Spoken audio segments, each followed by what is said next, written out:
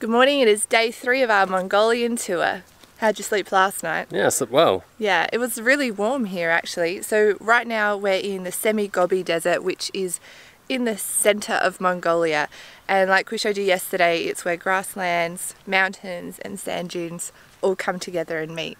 It's breathtaking. I mean, just coming out of the ger this morning, just kind of forget where you are when you're in the tent and then you open it up and it's just lovely and there's horses still camels the shepherds have taken the sheep away i don't know where they've gone I can see a pack of horses over there and right near the dunes, just walking around. oh around. yeah yeah just doing their own thing This is also where three states meet in Mongolia. So there's Yeah. three states and um, they all intersect Yeah. around this point.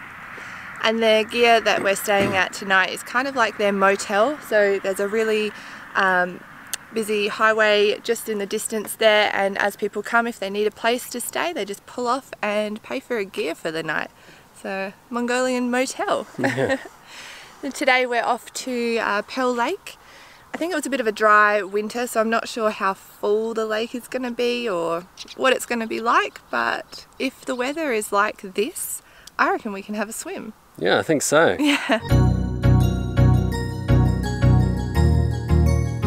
While we've been on tour, our tour guide has been cooking all of our meals and she's been really accommodating to the fact that we're vegetarian and the meals have been delicious. So this morning we've got some cheesy toast, some bread, some chocolate spread, coffee, this is important, and we're having some leftovers from last night's dinner which is like a pasta, tofu, vegetable type of dish. Uh, the other things we've been having are like um, eggs and tomato salad with some pickles. She's made um, some seaweed rice and some vegetables for dinner. We have not gone hungry and the food has been cooked fresh every single meal. I don't know how she does it. She has a one little burner and she'll cook multiple things for a meal and it all comes out hot. She's definitely talented and the food has been great.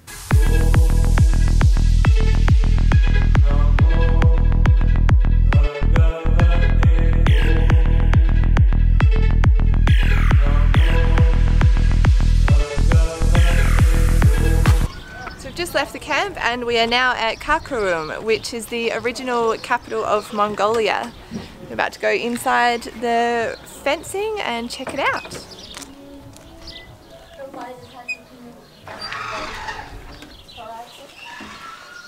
Genghis Khan built this city, Karakorum, in 1220 and it was a link between the east and the west, so a lot of trade was done here. So it's uh, got a, a lot of history in this place, and we're going to go around and check out all of the older buildings.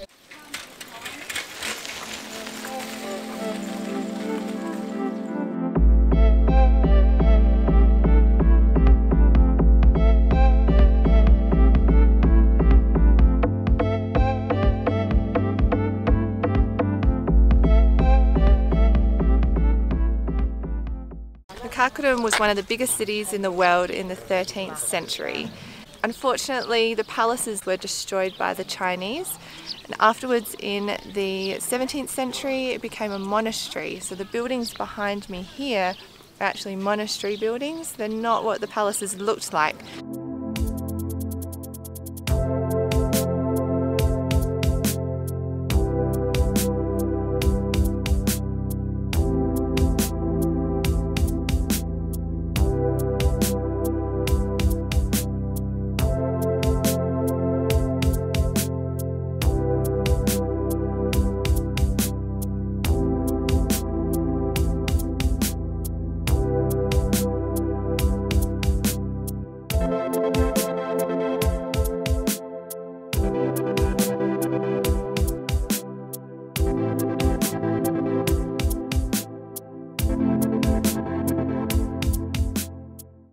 We're going to see the turtle sculpture, which is one of the last remaining items um, of Karakorum.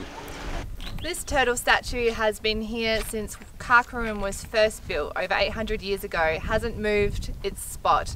It's one of the only things that is original. This little guy is keeping guard.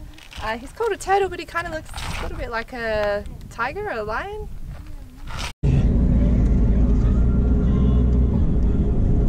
We We've just stopped on our way to the campsite, and this tree is apparently a good fortune tree. As you can see, people have tied all of these blue silk around the fence to bring themselves good fortune.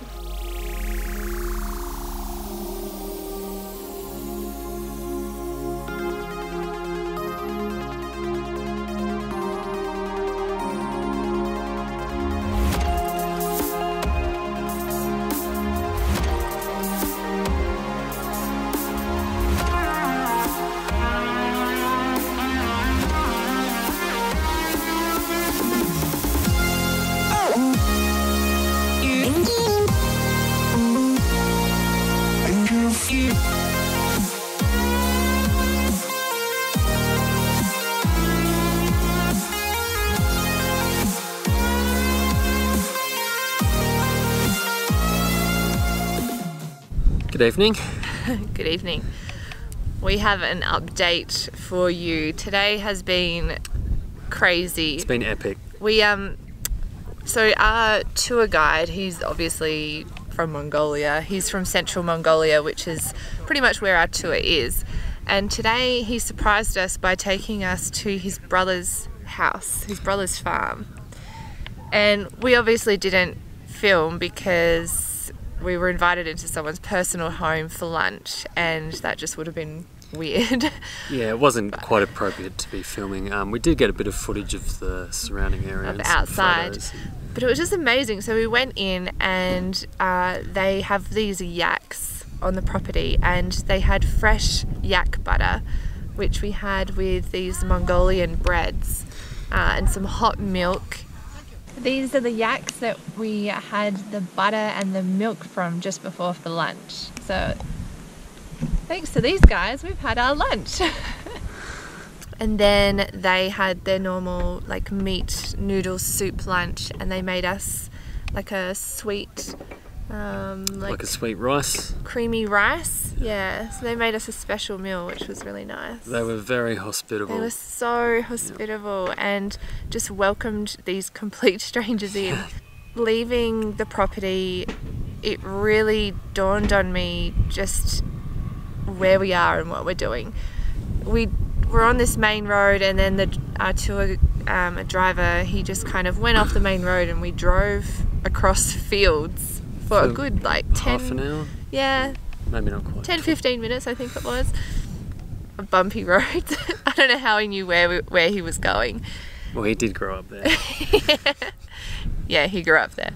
But we, i really just realized that we are in the center of mongolia right now and we are going to these really remote rural places in the middle of nowhere there's just nothing around Except amazing scenery. It's stunning. yeah and And it's very diverse as well. So this morning is. we we left um, sand dunes. We're in sort of the uh, Semi-Gobi area. So Mm-hmm. we had sand dunes, um, open plains, and then by later this afternoon there were mountains, um, Yeah.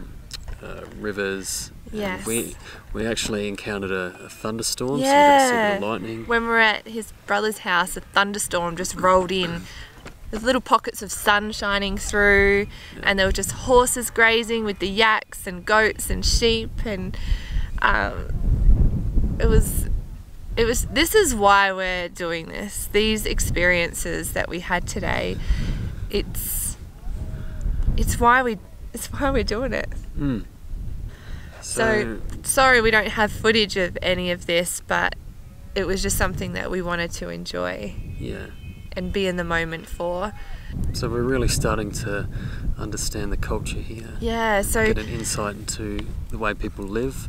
mm, our tour guide was saying that with the flocks uh, of the animals that they have here, if the flocks keep moving to another field, then they will leave their home and follow them. That's the whole nomad lifestyle. True nomads. Yeah, and we went past um, our driver's other brother's house, and he said, "Oh, there's no one at that house because they've followed the flock into the mountains. Yeah.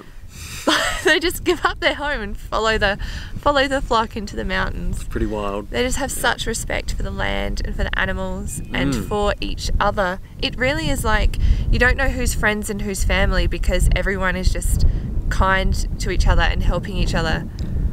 It's unlike anything that I've experienced. It's it's definitely life changing.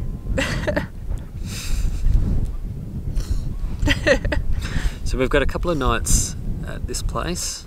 Which again is amazingly beautiful. A little chilly. So Oh, it's- yeah. It's, it's summer, but it's uh, definitely breezy. yeah, we did want to swim in the lake and we were hoping for warm weather, but it kind of gets cold at night, but during the day it's fine. So tomorrow we're going uh, horseback riding, and neither of us have ever been on a horse, and we're gonna hop on some Mongolian horses for a three-hour uh, horse ride. There's uh, old volca- volcanoes in this area, so quite mountainous. Yeah, I'm really looking forward to that. Yeah. It's About time I rode a horse. Yeah. Well, I was apprehensive about the camel ride, and that was perfectly fine. That was so peaceful. So They're actually kind of graceful, aren't they? yeah. Camels. So I think the the horse ride will be fine. Yeah. Yeah. Well, that's what happened today. All right. Well, we're going to go back to the Ger Mm-hmm. before the fire goes out. yeah, got to keep the fire going. And we'll uh, see you tomorrow. See you tomorrow.